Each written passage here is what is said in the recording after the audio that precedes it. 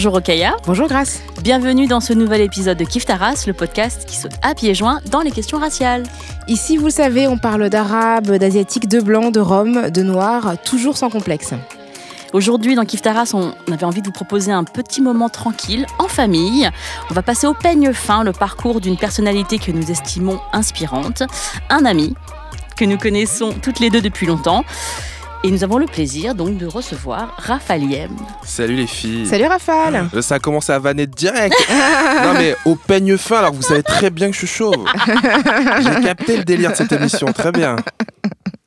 Moi, je suis content d'être là en tout cas. Oh, merci. Vraiment, je suis tellement fier déjà de ce que vous faites et de la proposition de podcast euh, que vous avez Kif Taras. Je, suis- vraiment, je suis très honoré d'être avec vous. Bah, merci, c'est euh, réciproque. On est super heureuse de, de te recevoir, enfin, depuis le temps qu'on y pense en plus. Voilà, maintenant, après ça, après s'être passé la brosse à reluire, on va balancer les Ouais, questions. non, bon, voilà. On va parler des vrais dos. Donc Raphaël, tu es journaliste et tu précises sans carte de presse. C'est vrai. Tu es animateur, ton CV est plus long que la durée de ce podcast, donc euh, on va aller, euh, on va, on va abréger. Straight to the point. C'est ça, voilà. Pour être brève et euh, donner euh, des éléments à celles et ceux qui nous écoutent et qui ne te connaissent pas, tu as travaillé dans de nombreux médias euh, populaires en presse, radio et télé tels que Radio Nova, France Culture, MTV, BET. On peut te voir actuellement sur France 3 et sur France O et tu as cofondé le magazine engagé Fumigène. Exactement. Je suis très fier de ça.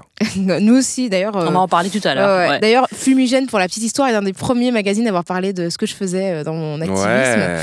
Ouais, en 2007. Ah, Moi aussi, elle- c'est elle- c'est l'un des premiers portraits que j'ai eu. Ouais. Aussi Ouais. Bah vous voyez, Tu comme vois quoi. Et Comme maintenant, quoi. je suis dans Kif Taras. La boucle est bouclée. Alors, euh, dans Kif Taras, Raphaël, on a un petit rituel. Donc, on demande aux personnes euh, si elles se situent sur euh, le plan racial et si oui, comment. Donc, par exemple, Rokaya est une femme noire et moi, je suis une femme asiatique. Et toi, est-ce que tu te définis comme ça? Ben, moi, je suis un homme asiatique, sûr. Euh, même si les gens n'y croient pas. parce que souvent, alors moi, je travaille en télé. Les gens, euh, tu sais, t'approchent dans la rue parce qu'ils t'ont vu à l'écran. Euh, et puis, en plus, je travaille sur euh, François. Quelquefois, ils me voient sur cette chaîne, chaîne dédiée à nos Outre-mer. Et ils sont persuadés que je suis antillais, réunionnais, wallisien, polynésien, tahitien. Mais rien de tout ça. Moi, je suis d'origine cambodgienne. Mes parents viennent du Cambodge. Ils ont fui le génocide, ce qui allait devenir le génocide des Khmers rouges. Et ils sont arrivés euh, en France. Donc euh, mes deux parents sont euh, cambodgiens et c'est vrai que je sais pas, je sais pas s'il y a un physique cambodgien, mais en tout cas quand j'y vais et que je parle le Khmer, les gens ne me croient pas, ne croient pas que j'en suis un. Alors nous on dit Khmer Sot, Sot ça veut dire je suis un vrai cambodgien de- des deux parents quoi. Et personne ne me croit et je pense qu'en France quand je dis personne ne me croit aussi. Bah, Tu sais, non, non, mais à ma décharge, Anne, euh, moi aussi. Bah pourtant, tu vois, euh, Ouais. quand je, quand je t'ai rencontré pour la première fois, je t'ai demandé, mais tes deux parents sont cambodgiens? Et Tu m'as dit oui. Et en fait, j'étais dans un espèce de déni en me disant, mais il est trop cool pour être asiate. non, mais pour te dire à quel point les clichés que j'avais internalisés m'empêchaient de penser que quand on était asiate, euh, on ne pouvait pas euh, aimer le hip-hop, porter un chapeau, Être barbu. euh, être barbu.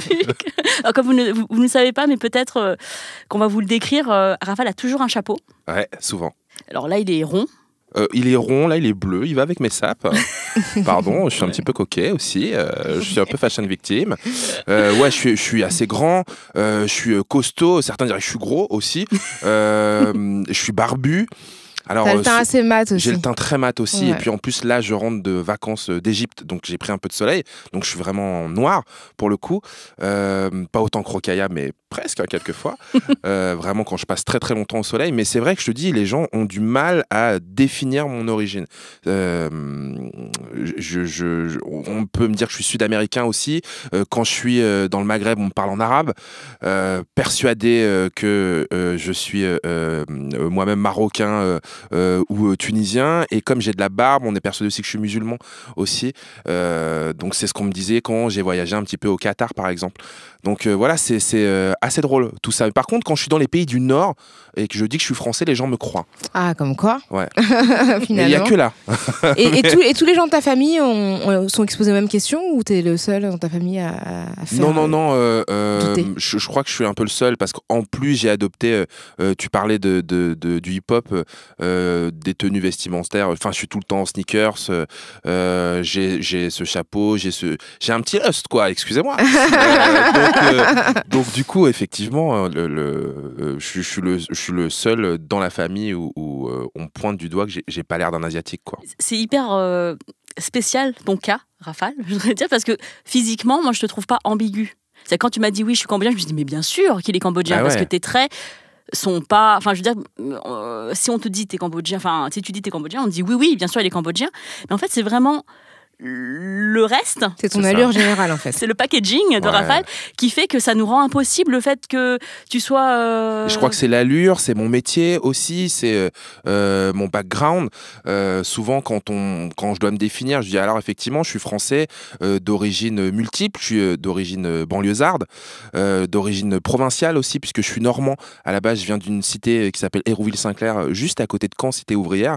Euh, donc, je suis d'origine populaire également, et puis euh, d'origine immigrée, euh, avec mes, deux parents cambodgiens. Donc, c'est vrai que c'est tout de suite, c'est- assez euh, différent de ce qu'on pourrait imaginer, euh, des clichés qu'on pourrait avoir des Asiatiques en France. Et justement, en parlant de clichés, on a beaucoup évoqué euh, dans Kif Taras tous les clichés auxquels sont exposées les femmes d'origine asiatique. Et c'est vrai que ce sont des clichés en fait un peu inversés qui pèsent sur les hommes. Quand les femmes sont hyper sexualisées, les hommes sont sous-sexualisés. Et euh, je voulais savoir en fait si toi, en tant qu'homme asiatique, Qui étaient mais du coup- sous-sexualisés. ouais, ou de manière générale. Mais du coup, c'est vrai qu'on ne te perçoit pas forcément comme un asiatique.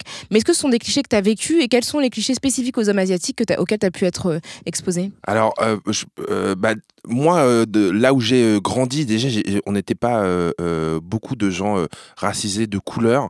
Euh, donc déjà, j'étais différent de fait.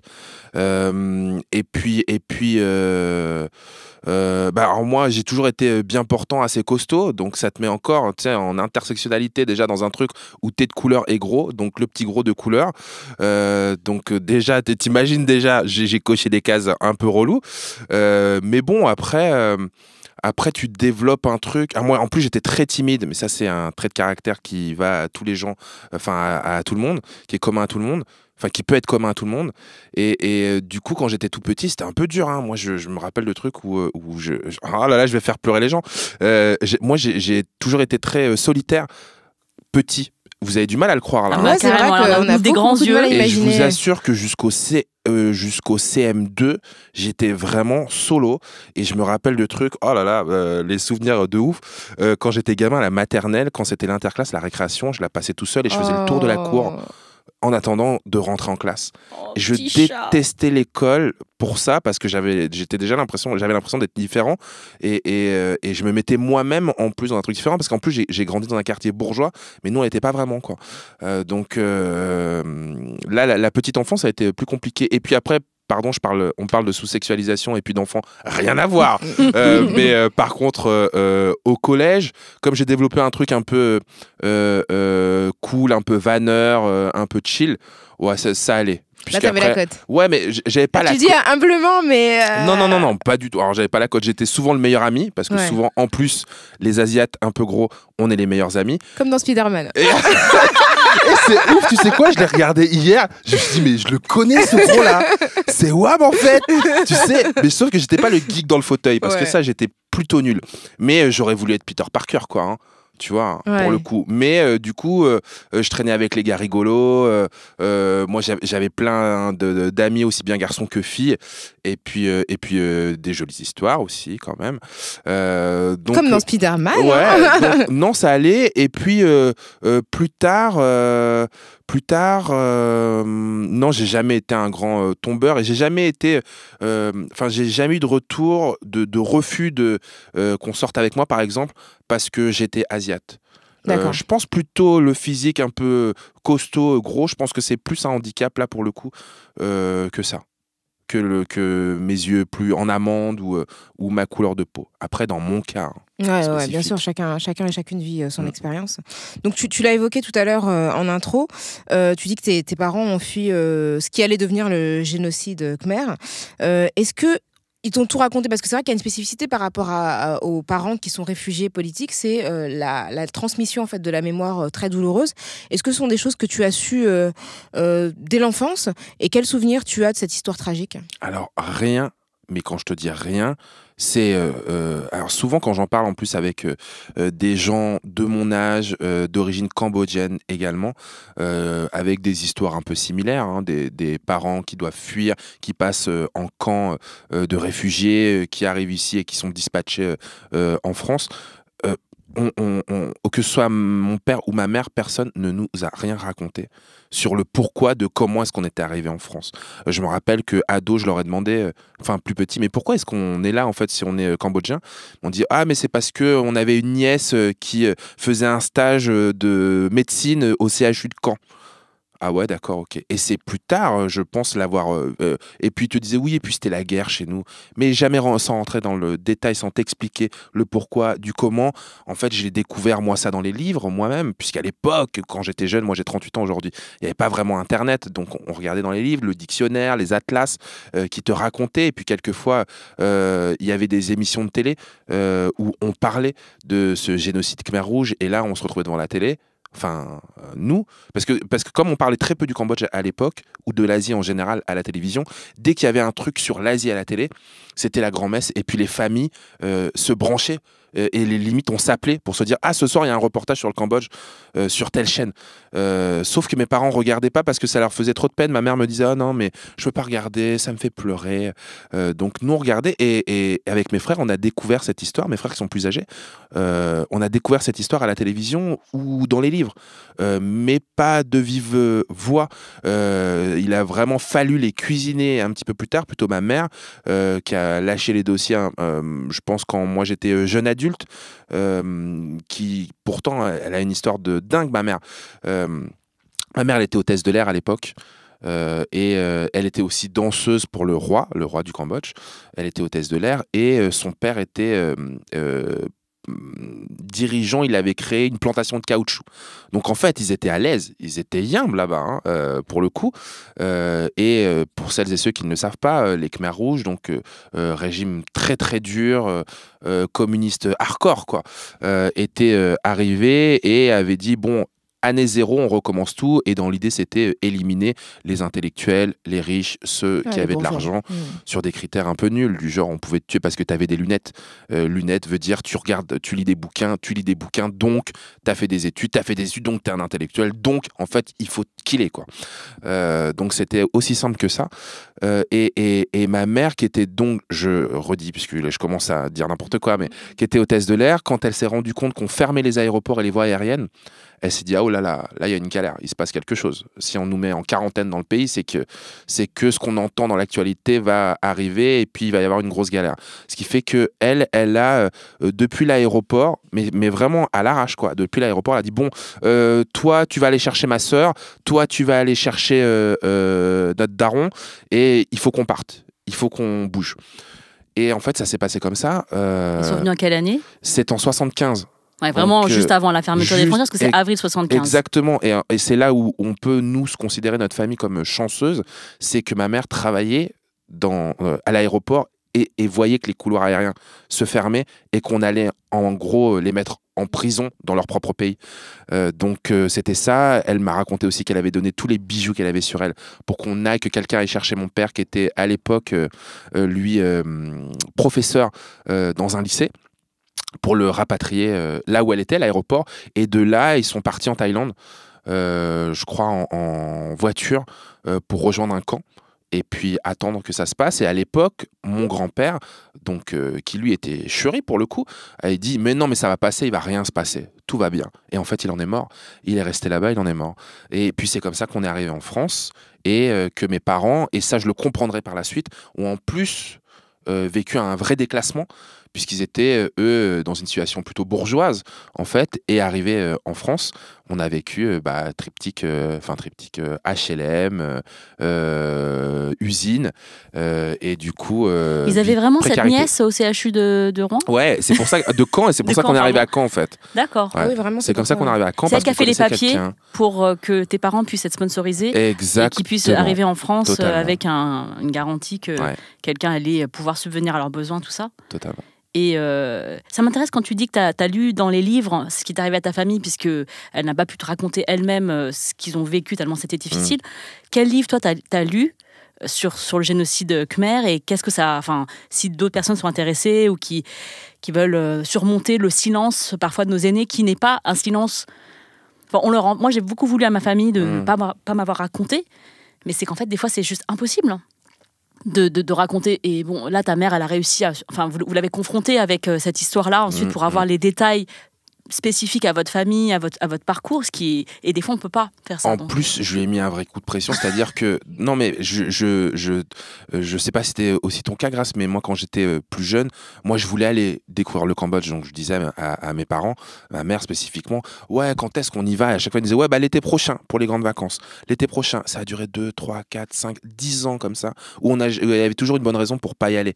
Pas d'argent, c'est compliqué. Ouais, mais là-bas la sécurité, on n'est pas sûr. Et quand j'ai eu, euh, je, euh, je crois, euh, 22 ou 23 ans, et ben j'ai- acheté un billet d'avion et j'ai dit à ma mère, bah ça y est, moi j'ai mon billet, j'y vais. J'y vais, je, je- je parlais à peu près le Khmer. J'ai dit, j'y vais. J'y suis allé. Et ce qui est dingue, c'est que j'ai retrouvé de la famille via des lettres qu'on s'était. euh, Oh, wow. Enfin, que quelqu'un avait envoyé à une cousine lointaine, que j'avais avec une adresse, je sais pas quoi. Et en fait, j'ai retrouvé de la famille là-bas. Et euh, je suis resté un mois. Euh, avec euh, là-bas plein de péripéties, des gens qui ne te croient pas quand tu dis que tu es cambodgien parce que j'ai pas le physique. Moi, je parle à peu près le khmer, je le comprends vraiment parfaitement, mais j'ai un accent, un fort accent, j'ai du mal à trouver le vocabulaire. Euh, bref, euh, je, je me débrouille et euh, je reste un mois, c'était mortel.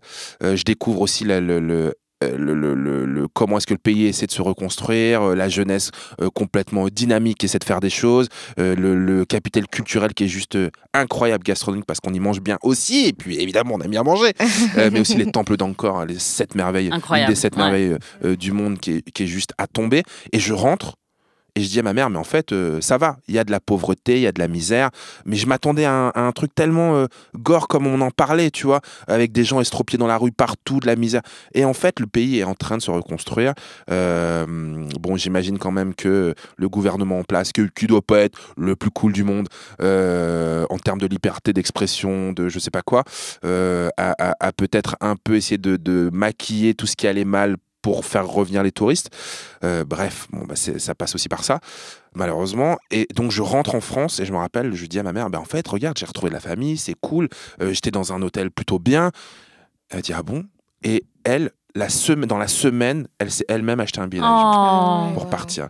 Et je crois qu'il fallait un déclic comme ça pour que l'un de nous y aille. Et je sais pas si c'est la meilleure solution. En tout cas, c'est ce qui s'est euh, euh, passé. génial. Et pour reprendre ta question, à savoir euh, comment est-ce que moi je me suis documenté sur tout ça, il y a surtout un film qui me, qui me reste en tête parce que quelquefois de lire c'est un peu, c'est un peu relou ou pas très accessible. Il y a peut-être pas des livres euh, super cool, sauf peut-être le livre de Grâce d'ailleurs, où toi tu Mm. racontes aussi hein, euh, comment tu racontes aussi tes origines. Euh, pour des gens de notre génération, c'est beaucoup plus accessible que de lire un article dans, dans, dans un atlas. euh, parce qu'il y a finalement très peu de choses qui existent. Mais je me rappelle surtout d'un film américain qui s'appelle La Déchirure. Ouais, de Roland Joffé. Exactement 83. et qui qui est dingue, qui est, vraiment dingue. C'est euh, l'histoire d'un journaliste qui fait, euh, qui doit faire une série de reportages, un journaliste américain au Cambodge sur la guerre au Cambodge, qui la vit de l'intérieur et qui est euh, aidé par un autre journaliste qu'on appelle un fixeur sur place, un, journaliste cambodgien, archi touchant. Et puis c'est leur amitié, c'est l'histoire de leur amitié qui est racontée. Et puis à travers ça, l'histoire du génocide des Khmer rouges. Donc ça c'est super accessible comme Oh, le- et- comme, et- euh, Et le comme fi- film. ce film, La déchirure en français, euh, en anglais, ça s'appelle The Killing Fields, donc les charniers. Donc c'est le titre est vraiment différent Ouais, quand pour tu le le prends en anglais et quand tu le prends en français. ouais, Euh, comme souvent. ouais. comme souvent, ouais. Ah, c'est c'est une bonne Ce qui est bien avec Rafale aussi, c'est qu'il revient sur les questions que tu as posées trois minutes avant. C'est ça. Un vrai journaliste. Ça, c'est chouette parce que t'es pas en train de dire alors les livres, alors les films. et, euh, et tu es aussi très impliqué dans les communautés asiatiques. Euh, tu as notamment euh, participé à la vidéo asiatique de France. Enfin. C'était un clip et tu participes souvent. Enfin, dès que tu viens en soutien à plein de causes. euh, Bah, en fait, de mon implication dans, contre le racisme anti-asiate est assez récent, je trouve. Parce que euh, très longtemps, euh, cette identité euh, asiatique était un peu en second plan pour moi et je me sentais plus vraiment banlieusard avec toutes les discriminations que peuvent subir les banlieusardes et les banlieusards, les habitants de nos cités. En France, je sais pas, discrimination, je pense comme ça naturellement à, à l'islamophobie contre les Arabes, la négrophobie, tout ce qu'on, toutes les attaques, Violences policières. les violences policières, euh, tous les débats autour de la précarité, et je me sentais moi beaucoup plus impliqué là-dedans, euh, et puis et puis alerte sur ces questions que sur des questions de racisme anti-asiatique. C'est venu plus tard avec je sais pas quoi, peut-être euh, un autre âge, le fait que je me sois installé en Île-de-France, puisqu'avant j'habitais à Caen, enfin j'habitais à Hérouville toujours dans ma cité, et puis et puis et puis du coup je, je voyais des ponts avec ce qui pouvait se passer à je sais pas à Clichy-sous-Bois ou euh, à Montpellier, cité du Petit Bar, euh, du Petit Bar pardon, euh, à Toulouse. au Mirail, enfin bref, c'est des choses qui me parlaient plus. Et puis c'est en fait en venant en Ile-de-France que j'ai rencontré plus de Français d'origine asiate ou des Asiates, des gens de ma génération en plus, avec un parcours assez similaire au mien, avec même des gens quelquefois qui pouvaient euh, kiffer les cultures urbaines. Euh, donc c'est comme ça que j'ai fait ces liens et puis, euh, et puis on est venu me voir pour cette vidéo puisqu'on me savait assez impliqué sur toutes les questions euh, d'identité, euh, de discrimination et de racisme. Et c'est comme ça que j'ai participé à la première euh, vidéo avec euh, des gens comme Steve Tran, les comédiens euh, Fred Shaw, euh, etc., etc. Et c'est intéressant ce que tu dis aussi à la lumière de. Moi, on me dit souvent, en tant qu'asiatique, qu'il y a la hiérarchie euh, des racismes. C'est-à-dire qu'il y a des choses qui sont plus importantes et le racisme anti-asiatique fait partie euh, des racismes qui sont le moins médiatisés, qui sont le moins visibles, qui ont- sont moins repris par les journalistes. Et souvent, on me demande est-ce que t'es pas, tu nourris pas quelque chose à l'égard des personnes qui sont. On parle toujours des mêmes, les Noirs, on parle d'eux tout le temps, euh, les Juifs. Est-ce que toi, ça te, ça te fait pas quelque chose? Et en fait, à chaque fois, je me dis mais le fait qu'on parle des, des, des- des problèmes, euh, d'autres problèmes d'autres gens, en fait, moi j'ai juste envie que le racisme anti-asiatique prenne autant d'ampleur et que Mm. les personnes qui sont derrière le racisme anti-asiatique, enfin qui luttent, les associations, etc., elles soient aussi visibles. Mais pour moi, c'est pas c'est parce qu'on tient un couverture à quelqu'un qu'ensuite euh, on va on va sortir- enfin, c'est pas, c'est pas en poussant la tête de quelqu'un dans l'eau Mm. qu'on va se sentir surélevé. Bah, c'est toujours ça l'idée, c'est que tu te dis que c'est une très bonne chose qu'on parle euh, de l'antisémitisme, de la négrophobie, de l'islamophobie, mais qu'il faudrait qu'on parle de toutes les formes de racisme de la même Exactement. manière, donc Mm. euh, contre les Roms, contre les Asiatiques. Mm. Et C'est vrai que ce truc de dire euh, ah on en parle trop, non en fait on parle pas trop du reste, on parle pas assez du racisme Mm, anti-asiatique et tout de suite c'est une approche quand même différente. quoi. Et justement, je crois que j'en ai déjà parlé ici, mais euh, c'est c'est ce qui m'énerve le plus, c'est quand on fait le rapport entre le racisme anti-asiatique et le racisme anti-blanc, entre guillemets. C'est-à-dire qu'on me dit, ah, on parle jamais de vous. Bah, c'est comme nous, les blancs, en fait, on parle jamais de nous. Euh, Je dis, ah, Ça n'a aucun pareil. rapport. Ouais, je pense qu'en plus, avec votre émission, on a assez démontré euh, toutes ces histoires de, de racisme anti-blanc, euh, euh, d'absurdité, euh, justement sur tout ça. Euh, mais euh, c'est vrai que je pense que le fait que, euh, oh là là, ça va faire auto-centré, je suis désolé, mais que des gens comme toi, grâce, on peut euh, te voir euh, sur euh, des luttes, justement, tu peux dénoncer la négrophobie, comme toi, Rokaya, tu peux dénoncer l'antisémitisme ou, justement discrimination contre les Roms, et que moi, on me voit sur des, des débats ou des polémiques autour de l'islamophobie, je, pense justement que ça, casse ces barrières-là. Et ça montre aux gens qu'on n'est pas obligé d'être noir pour lutter contre le racisme anti-noir, qu'on n'est pas obligé d'être musulman pour lutter contre le- C'est l'islamophobie. des poisons de no- notre société en général et on est Exactement. tous euh, membres de cette société civile.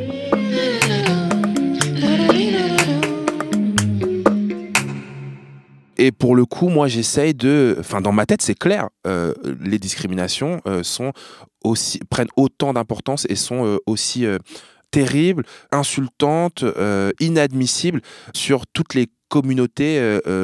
Qu'on peut les penser. Pour moi, euh, une lesbienne qui se fait agresser euh, parce qu'elle est lesbienne, c'est euh, aussi grave que euh, un juif qui se fait agresser parce qu'il est juif, quoi. C'est ce qui est important aussi. Je trouve que c'est c'est quelque chose qui te caractérise, c'est le fait qu'on bah, t'as toujours été de toutes les luttes quoi, et depuis longtemps, t'as toujours vu soutenir des gens de, de toutes origines. Et c'est peut-être aussi ça qui contribue euh, à l'ambiguïté dont tu parlais euh, Ouais, c'est vrai. au début de l'émission. Mais tu dit sais, mais il est quoi lui? Qu'est-ce qu'il j'ai- Je, je fait? d'islamophobie. J'ai un mec, un mec avec qui j'ai grandi euh, chez moi à Hérouville, euh, qui s'appelle Kader. Il est et que j'ai un peu perdu de vue parce que je vis à Paris maintenant. Euh, je vis à Montreuil plus précisément, dans le 93, mais il est persuadé que je suis converti à l'islam. et à chaque fois que je le vois, c'est On parle, on discute, la famille, ça va. Et il me dit, et alors, tu peux me le dire maintenant? Tu peux me le dire. T'es un frère, t'es- converti. J'ai dit, c'est mais non, frérot, je t'assure que non. Et bref, ça dure depuis 10 ans comme ça. Ah, c'est drôle. Et ben, en fait, je t'ai jamais dit, mais ma mère, elle s'appelle Yem. Ma mère, Ah euh, ma- ouais. ça se trouve, on est cousins.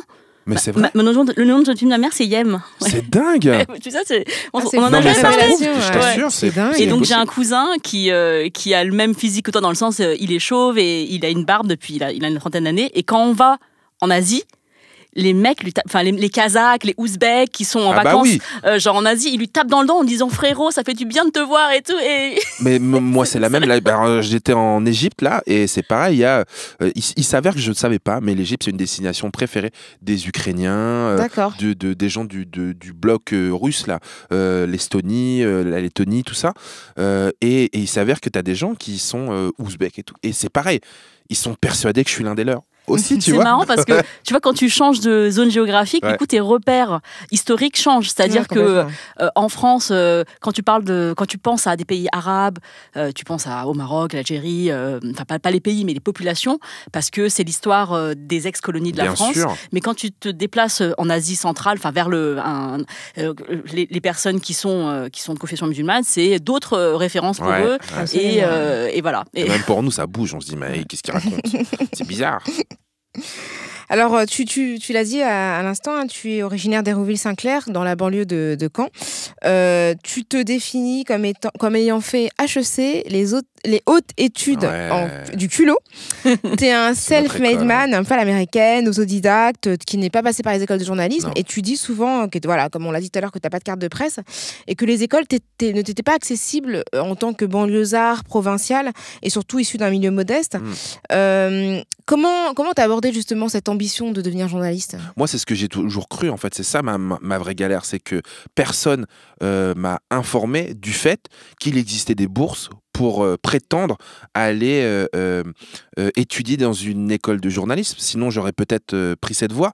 Et, puis, j'ai eu pas mal de désillusions sur ce métier plus jeune parce que euh, moi j'ai lancé un fanzine, on en parlait au début de l'émission qui s'appelle Fumigène, qui est euh, au départ c'était euh, quand je dis un fanzine en fait c'était un magazine photocopié, donc des pages euh, A3 pliées en deux qu'on photocopiait la nuit à la MJC et on faisait ça le dimanche à la bibliothèque et ce qui est drôle et je raconte souvent cette histoire et ça fait rire souvent les gens mais on piquait les ramettes de papier pour faire ça quoi.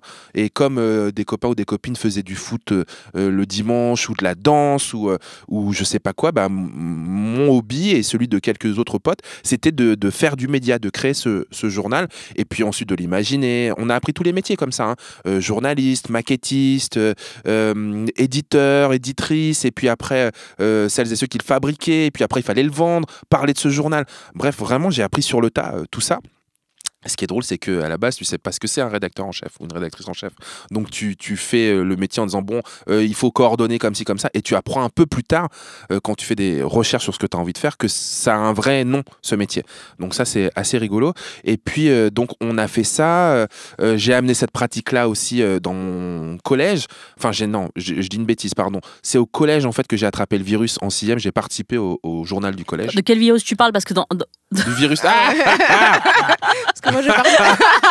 on est tous en train de se dire, mais est-ce qu'on s'en va à la 2020, suite, donc voilà. Je ne porte pas de masque pour parler du virus, du virus du, du journalisme.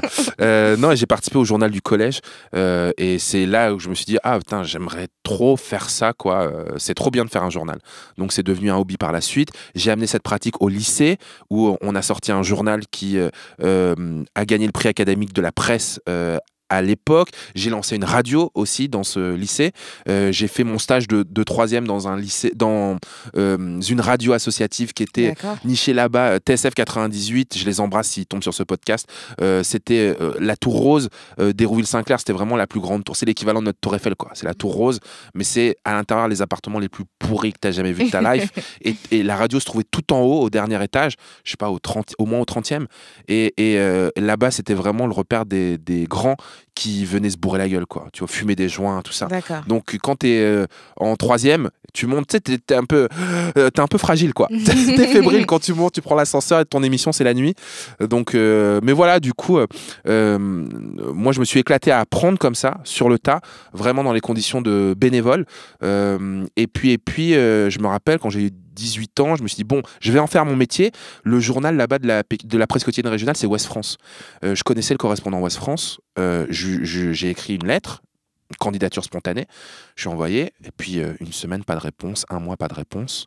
Je tombe sur le gars. Je lui dis, ouais, est-ce que tu as entendu parler de ma lettre? Voilà, moi, j'adorais être journaliste. Et puis, comme je connais bien Hérouville, je pourrais en parler. Je connais bien les associations, je connais bien les gens et tout. Il m'a dit, mais Rafale, c'est pas sérieux. T'as pas le profil pour le faire. Bah non. Et là, je vous assure, je, je, je- ça n'a pas duré longtemps. Je suis tombé de haut en me disant, mais qu'un mec qui est, qui est euh, comme moi, qui, qui est correspond, enfin, qui, qui, enfin, Qui est- je mais dis ouais. qu'il est comme moi parce qu'il il devait avoir 10 ans de plus que moi et lui-même, il est euh, d'origine antillaise, donc noir, tu vois. Et puis, il connaissait un peu la, la cité. Et, et en fait, je sais pas, j'ai senti, il, il m'a fait sentir que j'étais pas comme lui, quoi. Que j'étais pas. euh, Parce que lui, il a fait une école de, de, de journalisme. Bon, et tout, tu sûrement. Ouais. Sûrement.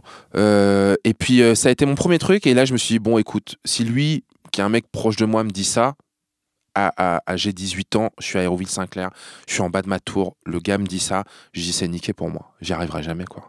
Et quand je dis que ça a duré 10 minutes, ça a vraiment duré 10 minutes, dans le sens où. bah, je me suis dit, bah tant pis, je vais m'éclater en faisant mon journal qui s'appelle Fumigène, et puis ça va marcher. Et puis, il s'avère que ça a vraiment Ça a marché marché, oui. parce que ce journal, donc, on a vraiment fait à la sueur. euh, on l'a fait avec rien. On l'a fait avec du papier euh, carotte pour le coup. Euh, et puis, en fait, il a grossi. Ce, comme moi, d'ailleurs, au fil des années. Mais au- ce journal, on l'a distribué. il est passé de d'Hérouville, de ma ville, à ma région, la Normandie. Et puis, il a commencé à, à voyager du côté du sud de la France, en banlieue parisienne. Et puis, et puis. euh, s'il y a des très jeunes qui nous écoutent, ils ont, du mal à le croire, mais, quand euh, j'avais 20 piges, il n'y avait pas Internet. Tu pouvais pas taper dans Google les adresses, euh, il n'y avait pas Instagram, il n'y avait pas tout ça. On pouvait pas joindre les gens aussi facilement. Donc il y avait l'annuaire, donc un gros bouquin où il y avait des numéros de téléphone, tu cherchais. Et nous, à l'époque, dans Fumigène, on voulait interviewer les stars du rap, parce que c'est ce qu'on écoutait et tout ça.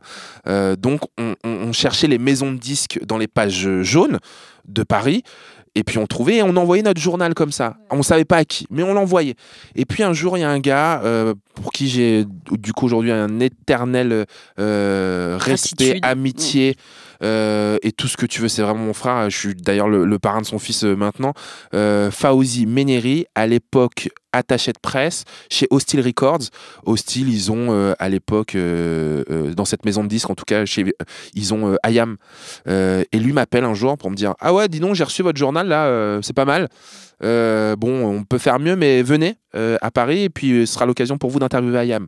Oh, mais t'imagines, IAM c'était déjà aussi, aussi lourd que ce que c'est euh, aujourd'hui, quoi. Ouais, tu vois, c'était déjà légendaire. ouais. Donc, première fois qu'on va à Paris, on prend le train pour y aller. Euh, on se retrouve dans un hôtel. Première fois qu'on arrive dans le lobby d'un hôtel. Aujourd'hui, moi, c'est, j'allais dire, c'est mon quotidien. Enfin, parce que j'étais sur MTV, parce que euh, voilà, j'ai fait pas mal d'interviews dans les hôtels et il faut le dire aux gens, ça se passe souvent dans les hôtels. Maintenant, il y a moins d'argent, donc ça se passe directement dans les maisons de disques ou dans les cafés. Mais euh, à l'époque, c'était quand même le face des maisons de disques. On arrive dans un hôtel comme ça, un truc 5 étoiles. Les gars d'IAM, c'est la garde à l'époque, c'est Joe Star, Joe Star, je dis n'importe quoi, c'est les copains d'NTM. Mais euh, c'est Shuriken et son frère Faflarage qui rentrent les premiers parce qu'ils avaient sorti un projet qui s'appelle La Garde. Ah là, je parle aux anciens, hein, attention. hein. Je les vois et, et, et, et tu te dis, ah, c'est génial. T'as l'impression d'avoir réussi en fait. Hmm. J'avais l'impression d'avoir réussi ma Ah, vie. c'est génial. On pose les premières questions et tout. Et ce Fauzi, en fait, qui est là, euh, on, on se lie d'amitié avec lui. Et il me dit, écoute, euh, moi, je me. En fait, j'ai compris qu'il s'était retrouvé dans mon parcours parce que lui-même, il était arrivé à, être un des meilleurs attachés de presse dans son label et que lui-même avait grandi en banlieue et que lui-même, on lui avait pas dit qu'on pourrait euh, devenir attaché ou travailler dans l'entertainment, tu vois. Et il était arrivé là et puis s'était un peu retrouvé dans ce que je faisais. Il, aimait mon dynamisme, euh, mm, mon positivisme. Et du coup, il m'a dit bah écoute, si tu veux en faire ton métier, je vais te brancher avec euh, d'autres rédacteurs en chef que je connais. Et j'ai commencé à écrire comme ça pour un magazine qui s'appelle RER, qui était euh, à l'époque une des références sur euh, le rap et la rap culture. Euh, et j'ai fait des piches comme ça pendant six mois, depuis Hérouville-Saint-Clair. Euh, bon, je vous raconte pas les galères parce que l'argent de mes piges rentrait pour payer mes billets de train. Bref, je gagnais rien, mais je kiffais le faire. Et surtout, ensuite, aller à Carrefour euh, de chez moi, ouvrir le magazine dans le truc de la presse et dire putain, il y a mon nom, quoi. Ouais. C'est mortel. Et puis, euh, je suis devenu rédacteur en chef adjoint de ce journal au bout de six mois. Bravo. Et c'est comme ça que ça a commencé. Bon, là, c'est un podcast où on parle pas beaucoup, hein, Rocaillard. Ouais, c'est clair. Ah, Non, mais- pardon. non, c'est génial. Non, mais c'est Non, nous, super, on te laisse c'est dérouler, super, on est bien, parfait. on est bien. là, on est On le euh, laisse et il est il fait, tout- il fait le truc tout seul, il a pas lu bien, le conducteur, mais. mais c'est ça, en fait, c'est voilà. super bien. Et dans, dans les portraits de, de tes débuts, du coup, qu'on lit vachement sur la Ouais. toile, euh, on te retrouve vraiment associé à cette culture de, de rue, le hip-hop, Ouais. l'urbain, voilà. Euh, et euh, je voulais te poser cette question parce que moi, quand j'ai grandi, euh, non, j'ai gr- grandi en, banlieue parisienne, j'avais vraiment cette impression que les blancs écoutaient du rock Ouais. et les noirs écoutaient du rap. Et du coup, parfois, je me demandais, moi, qu'est-ce que j'écoute comme musique? Parce qu'il y a personne. Et toi, et toi, j'ai vu que tu écoutais les deux. Donc, toi, t'as pas du tout été atteint par ces clichés euh, Non. là? Non, non, non. Euh, est-ce que c'est parce que. J'allais dire, euh, est-ce que c'est parce que j'ai grandi en province? Non, pas du tout, parce que je pense que les banlieues, euh, nos cités se ressemblent euh, partout euh, euh, sur le territoire français. Donc on a vraiment cette histoire en commun. Mais non, c'était dans les, euh, c'était une époque où on pouvait aussi bien être grunge avec des chemises à carreaux, euh, des baskets et puis euh, et puis écouter. euh, T'as eu ça? Ouais, j'ai eu ça moi.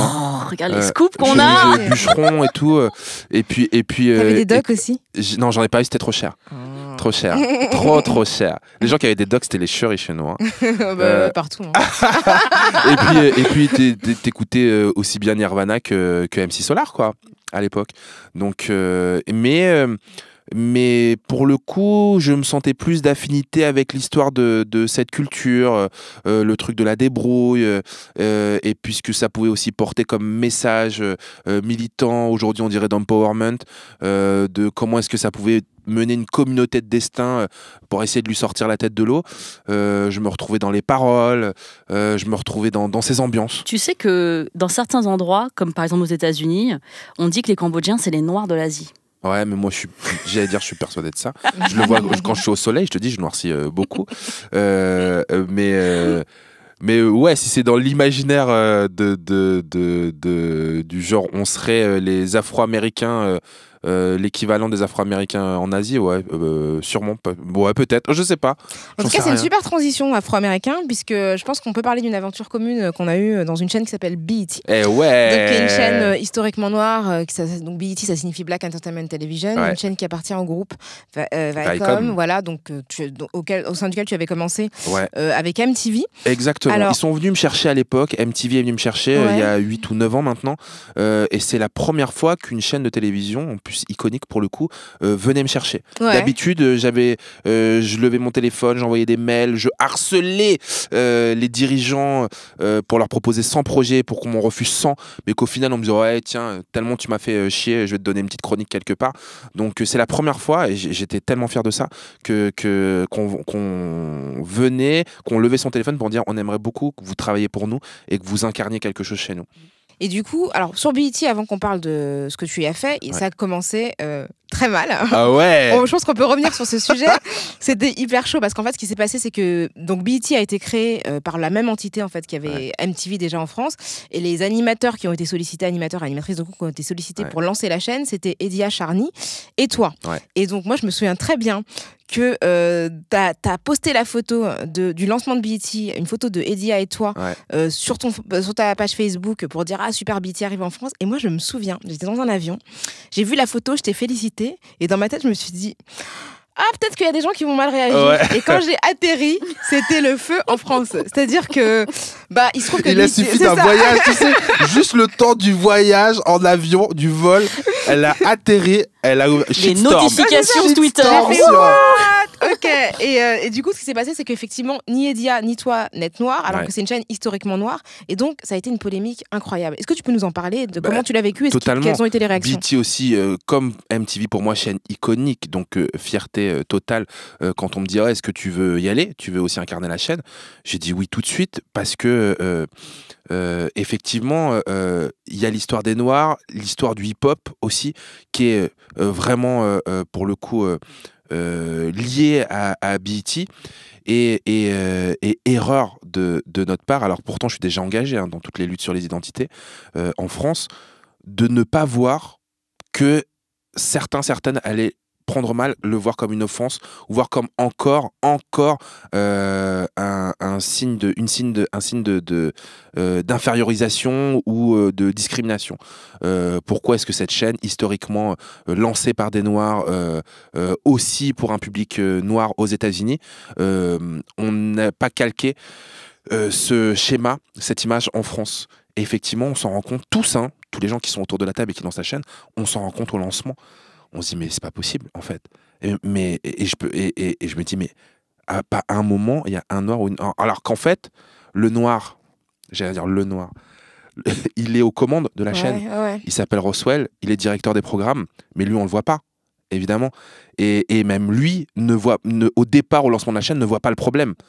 Euh, et c'est quand on voit le shitstorm qui se passe, on se dit putain, mais comment on n'a pas pu penser à incarner la chaîne, quoi, euh, par euh, un noir, une noire ou plusieurs, alors qu'il y en a des, des, des gens euh, qui pourraient prétendre à être là où on est, mais il y en a 20 000, quoi. Tu vois, c'est comme ça aussi d'ailleurs que Rocaille arrive. Bah, en fait, ce qui, est, ce qui est marrant, c'est que moi, je me souviens, donc j'étais euh, j'étais en déplacement et euh, Raphaël m'a envoyé un message en me disant Ah, est-ce que tu connaîtrais des journalistes qui pourraient couvrir des choses pour les, sur les États-Unis Ouais, ouais. pour BET Je dis Ah, bah moi, je veux bien en fait, parce que j'y vais souvent, etc. etc. Et c'est suite à ça que euh, les personnes qui s'occupaient de l'antenne se sont dit Ah, bah si elles considèrent pour euh, le, le fait de faire des reportages aux États-Unis, pourquoi pas venir sur l'antenne en Ouais. France? Et du coup, je me suis retrouvée un petit peu en mode, euh, je sais pas comment on appelle, enfin, euh, un peu pour euh, d'une certaine manière répondre à cette polémique. Ouais. Et donc, euh, je suis venue avec vous et Edia pour euh, le lancement de la chaîne. Mais c'est vrai que j'étais venue post-polémique. Et moi, je t'avoue que je me suis dit que c'était en fait d'autant plus dommageable que dans un contexte où les Noirs sont très très peu visibles, Mm. euh, de lancer une chaîne qui s'appelle Black sans Noirs, c'était vraiment.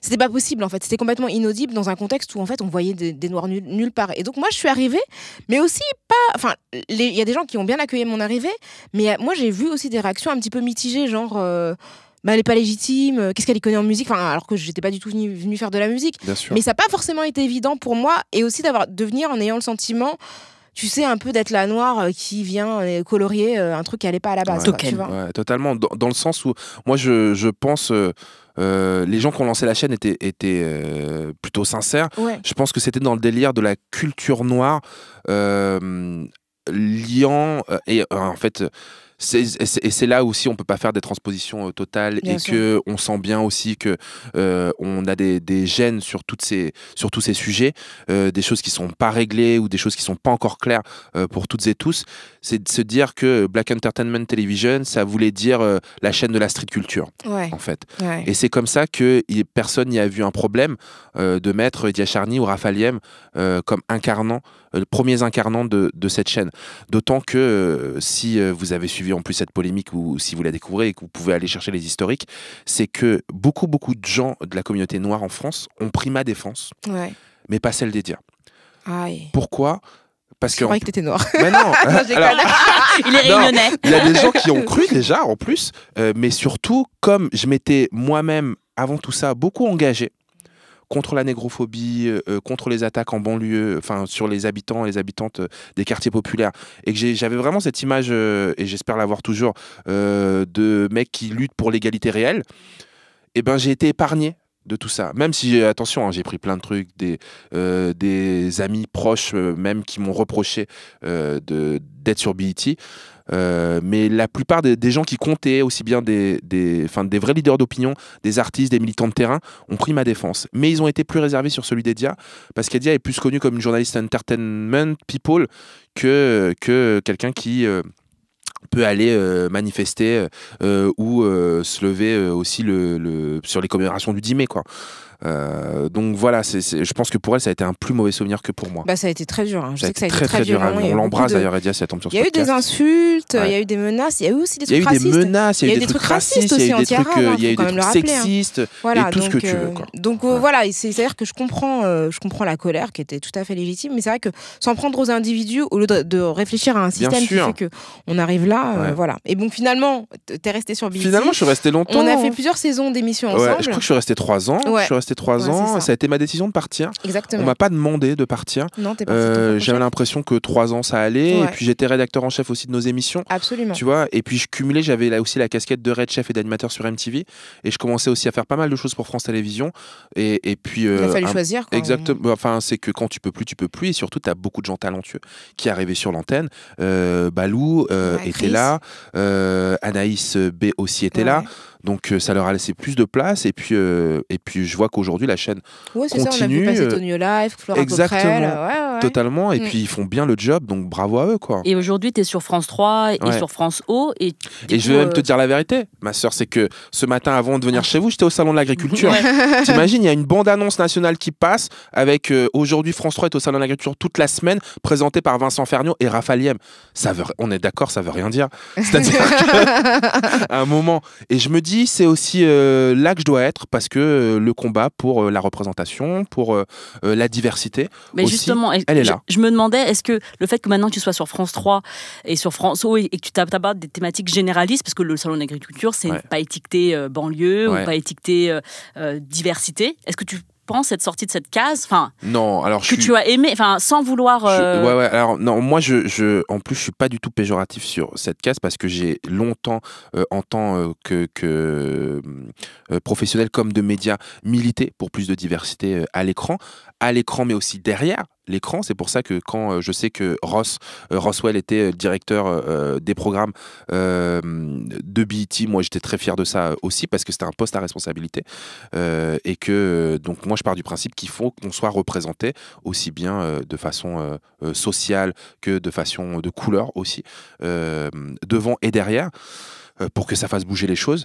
Euh, et, ben, euh, je, suis très content d'aller le faire. Je suis pas sorti de cette case, elle, est en moi. Euh, je pense même que il y a, euh, peut-être pas un effort, mais euh, même pas une stratégie, mais c'est dans la pensée des gens qui m'ont mis au salon de l'agriculture de dire ah bah aussi il va représenter quelque chose. Et ouais effectivement je représente des gens qui me regardent euh, à la télévision parce qu'ils peuvent se retrouver dans l'image de ce que j'envoie mais aussi dans les valeurs que je peux porter dans le parcours aussi que je peux avoir. Donc je suis très content d'y être et tous les matins je suis dans une émission qui s'appelle Ensemble c'est mieux. Je pense que ça me va plutôt bien où, euh, où euh, je me balade dans, aux quatre coins de l'île de France euh, à la rencontre des gens autour de leurs initiatives positives et citoyennes. Je fais ça et puis je suis sur Flash Talk sur France O où Voilà. on fait un grand débat sur des questions de société et où je prends un malin plaisir à donner la parole au micro des gens du public, à des gens qu'on voit pas beaucoup à l'antenne, des vieux, des jeunes, des femmes voilées, euh, des mamans noires, etc. etc. Moi, j'ai une dernière question parce qu'on est pressé par le temps, parce que Raphaël. euh, Il parle trop Non, il, parle il bien. est super surtout. intéressant, Il mais c'est vrai qu'on n'a pas besoin de le relancer. Est-ce qu'on t'a déjà reproché dans ton journalisme de manquer d'objectivité parce que tu, étais mi- parce que tu Oui. es militant et que tu as des engagements? Oui. Et comment tu le prends, toi, du coup? Bah non, moi, moi je pars du principe que de toute façon un, un journaliste n'est jamais objectif. Il, il, il, il, euh, euh, il affine, il porte sa propre, ce qu'il pense être sa propre objectivité, mais c'est son parcours, c'est ce qu'il a vécu, c'est ce qui, c'est, c'est ce qui le fait vibrer, euh, qui lui donne ça. Donc moi j'ai l'impression que dans notre métier on est tous subjectifs et cette subjectivité devient une sorte d'objectivité. Donc ouais, je suis assez objectif dans le sens où je- comme je le disais à l'instant, je veux donner la parole aux gens qui n'ont pas l'habitude de prendre la parole. Et tu le fais très bien, Raphaël. hein, merci beaucoup. Là, c'est nous qui t'avons donné la parole avec grand plaisir. Ah, c'est moi, je kiffe. Euh, tu reviens quand tu veux. Ouais, bah nous aussi. Tu reviens quand tu veux. C'était vraiment chouette. On est contente de pouvoir dire qu'on te retrouve de manière quotidienne sur France 3. Ouais. Dans Ensemble, c'est mieux. Et aussi régulièrement euh, voilà, sur, dans Et- Flash Talk. Et tous les dimanches, Flash Talk, 19h sur France 2, jusqu'à ce que la chaîne meure, puisque c'est annoncé. bah oui, parce qu'il faut pas déconner, quoi. Une mais chaîne. euh, mais là, on milite en ce moment pour que l'émission arrive sur une autre euh, chaîne du groupe France Télévisions. On croise les doigts. On croise les doigts pour ça. Euh, c'est la fin donc de Mm. Kif Taras euh, dédié Depuis au le portrait studio de- Soria Bonali. C'est ça, exactement. C'est Et- le, vrai nom du studio. Euh, on est en, dans, un, dans une configuration intimiste, hein, on va dire ça Avec comme des ça. canapes. Et aujourd'hui, le podcast Kif Taras de Binge Audio est réalisé par Mathieu Thévenon. On se retrouve dans 15 jours pour un nouvel épisode de Kif Taras. Merci Raphaël. Merci Salut Raphaël. merci. Salut Merci, Grâce.